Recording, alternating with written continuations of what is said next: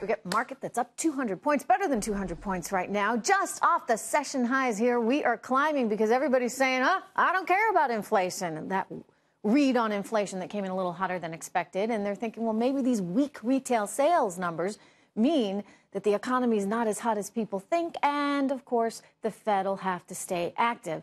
I don't know as I like that scenario very much because I would like to get off of this Fed sugar high. But joining me right now is the editor and publisher of the Gartman Letter, Dennis Gartman, who's getting uh, increasingly worried. You and I were emailing this morning. I told you, Dennis, I, am a little worried about inflation right now. I did not like what I saw this morning. Your thoughts? Well, and, and, and you shouldn't. Uh, I mean, we are seeing inflationary pressures begin to show up around the board. We're seeing grain prices turning higher. We're seeing meat prices turning higher. Cotton prices are turning higher. Look at what's, what gold has done today. Gold is up demonstrably more than is the stock market, having opened sharply lower this morning after the inflation number, which shows you at times that markets can remain illogical.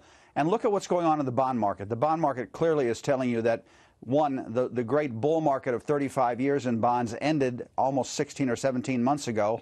A new bear market has started in bonds. Interest rates are, are trending higher and likely to go higher for some period of time. Mm-hmm. Not quickly, but over a period of time. So clearly there are inflationary concerns uh, abounding, and, and your concern, I think, was well placed.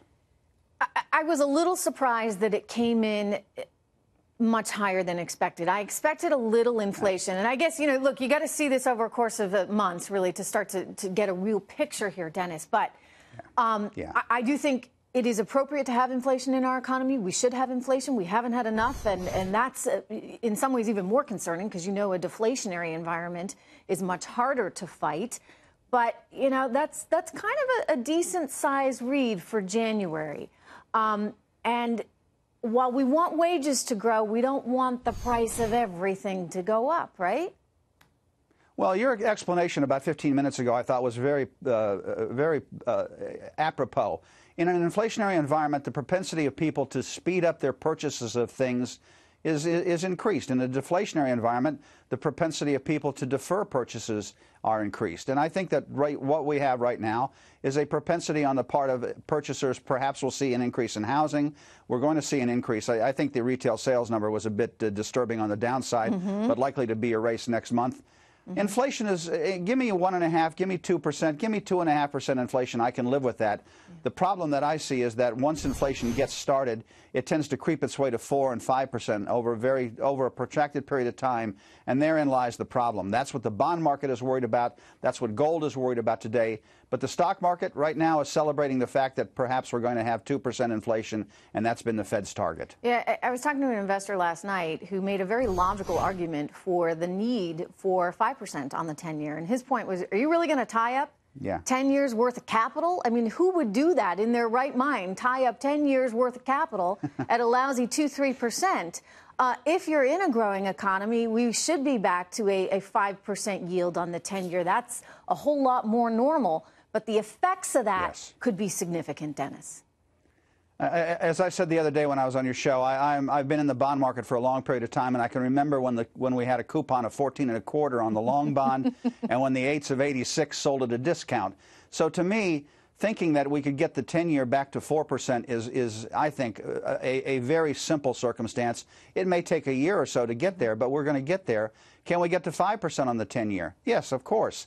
And by historical standards, as you, as you just said, even those are, are, are still not yeah. exorbitant rates of interest and reasonably historically precedented. And would you then be because I know you're pretty bearish. I, I, need you to explain that because to me, yeah. then, if you're saying okay, it's it's normal, it's within the historical norm to be looking at four or five percent on a ten year. Uh, that's actually healthy in the scheme of things. If you're growing at a fast enough clip, Dennis, then shouldn't that mean the equity market is okay? I, I, will argue and say that what ends up happening at the ends of long-term economic periods of growth, which is what we've had, and we're going to continue to grow. Let's not kid ourselves. This is a very strong economy. But what's happening now is with the monetary authorities reducing their supply of reserves, and they had been the the great creator of food for the for the uh, equity markets around the world, they're going to stop or have already begun the process of stopping uh, the injection of reserves into the system and are going to roll off debt so there, what happens at, at, the end of economic upturns? Money has to come out of uh, some place to, to, to fund plant equipment and, and labor, Yeah. and it comes out of the capital markets. I do think that the highs that we saw in the stock market a month and a half ago are the highs for a long period of time going into the future. And the fact that we've had a nice rebound, and yes, it's up sharply from last night's wor- worst levels, but let's remember the Dow, the S&P, the Nasdaq are still down five and six percent from their highs. And I think that the the fact that we're seeing strength in the markets with with weakness in the amount of volume is disturbing. So I'm slightly bearish, not demonstrably so, but I am bearish of equities, no Cautious question. right now. All right, Dennis Gartman, thank you. Good to see you.